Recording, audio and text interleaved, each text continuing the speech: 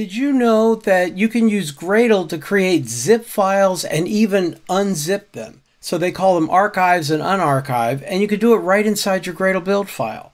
I'd like to show you an example, and I'm going to do it in both the Groovy DSL and the Kotlin DSL to cover all the bases. Welcome to Tales from the Jar Side.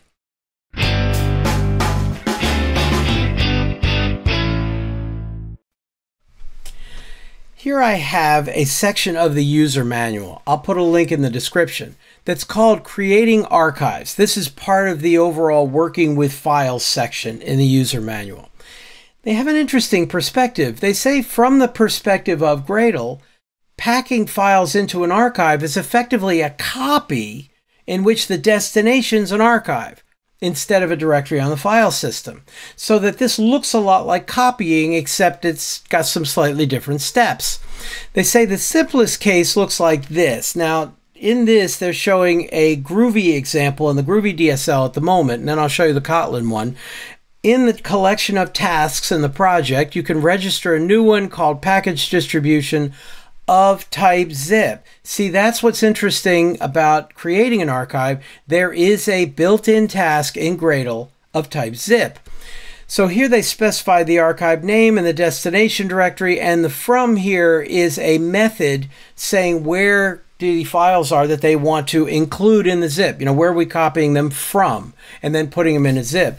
Now, they do point out this is a little unusual, specifying the archive file name and the destination directory because most projects apply what they call the base plugin. Now, the Java project, the Java plugin, includes the base plugin. So, yeah, most people are using the base plugin. So, what does that do? Well, over here you can see under archive naming, they say the main convention provided by the base plugin defaults to creating archives in the distributions folder underneath the build directory.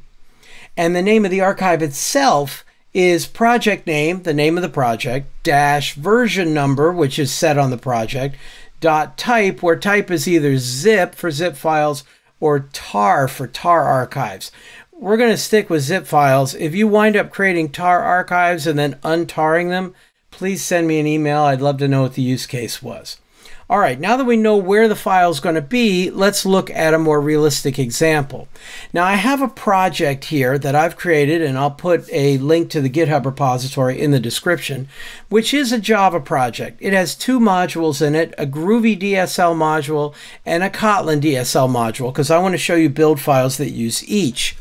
This one is the Groovy DSL module. I've got a Java plugin in the plugins block. And here's my task of type zip. Let's look at this zip task.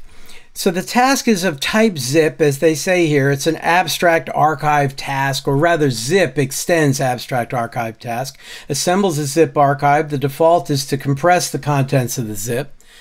I've written it in this style. We'll talk about that in a minute. Notice that the from method here, the from method takes the object dot dot dot, the variable argument list of source paths. Specify the source files or directories for a copy. Still referring to copy because it's part of abstract copy task, even though we're creating a zip archive. So we're copying from the source main Java folder and from source main resources folder. Now the slightly misleading part is this into method into doesn't mean a directory we're copying into. Instead, as it says here, creates and configures a child copy spec with a destination directory inside the archive. So this is making a dist folder inside the zip that's going to hold the README file, assuming we have one, and I do. So there's our zip task. Now, what this is complaining about is that I have written this in what they call the eager style in Gradle. That means this is happening, the calls to from and into are happening at configuration time. They wouldn't actually create the archive unless I ask for the task. That happens at execution time, but the rest of this configuration stuff is happening eagerly rather than lazily. So what IntelliJ is telling me to do is switch to task.register, which looks like this.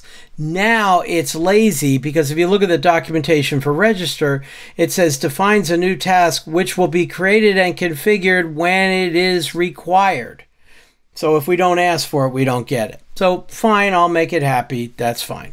Now looking at the Kotlin DSL version of this, looks pretty much identical. So again, I have task.register. The little difference is this, zip is included as a quote reified type in Kotlin. Kotlin has a way to keep type information around rather than erasing it, which happens during compilation in both Groovy and Java. If you look at the documentation for register, it says, yes, this is a reified T which implements the task interface and returns a task provider. So this is the zip task in Kotlin, and the only rest, the only other difference here is that we need parentheses for the from methods and the into method and double quotes for the strings, but basically the same thing.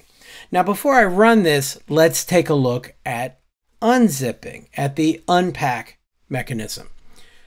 So back here in the documentation, we have a section called Unpacking Archives. That says archives are effectively self-contained file systems. So here we go again. Unpacking them is a case of copying the files from that file system, the zip, into the local file system or another archive. The key is to wrap our source in something called a zip tree. You see, if you just do a copy with the zip, it's going to copy the zip. we don't want to do that. We want to expand it. So wrapping it in a zip tree will expand the archive. And this example right here is, is labeled unpacked files. It's of type copy. See, there is no type unzip. There's only zip. With copy, we say from a zip tree wrapped around the location of the zip file into the layouts build directory in a subdirectory called resources. All right, let's see what that looks like in our code. So since I'm on the Kotlin one already, let me go to that. We register unzip as a copy task. I decided to make it depend on the zip. See, there's no point in unzipping if there isn't a zip file. And we could have made that optional by using something like only if, but what the heck, let's just make it create the zip and then we'll unzip it. Here's the fun part. From, and this, there's the zip tree. This monster here is how we get the location of the generated zip file without hard coding it in. So let's talk about this for a minute.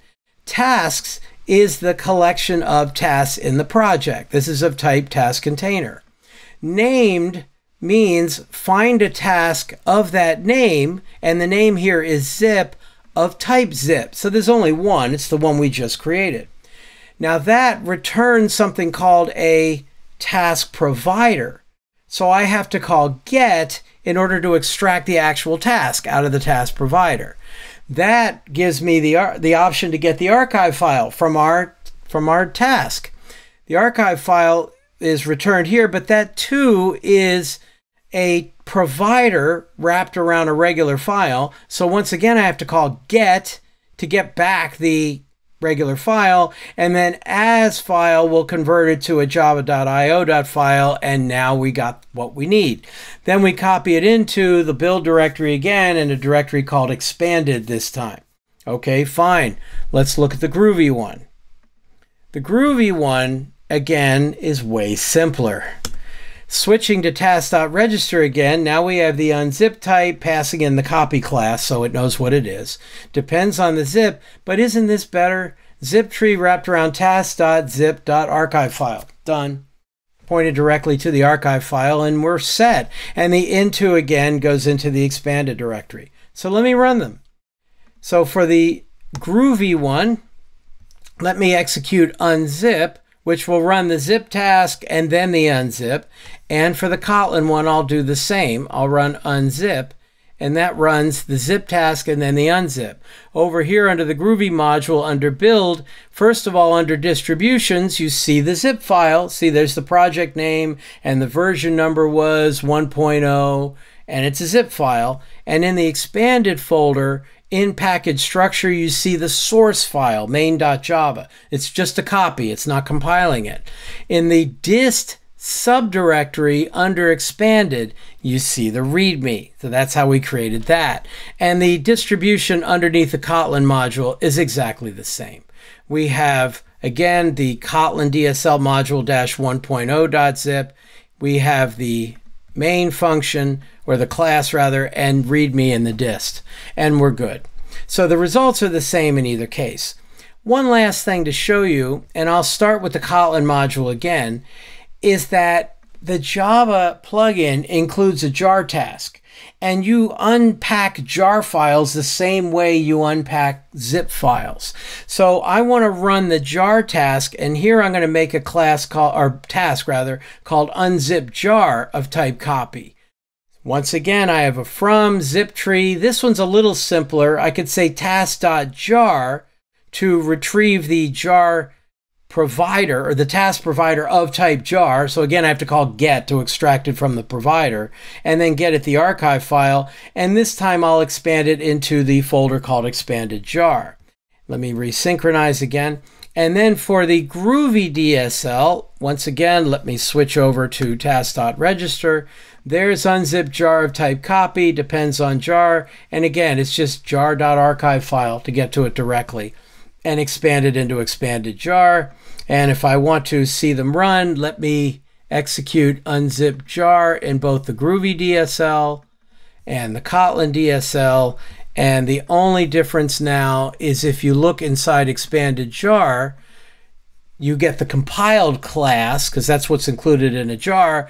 And under metainf, you get a manifest because that's what happens when you create a jar. And uh, once again, they're identical under both the Kotlin and the Groovy DSLs.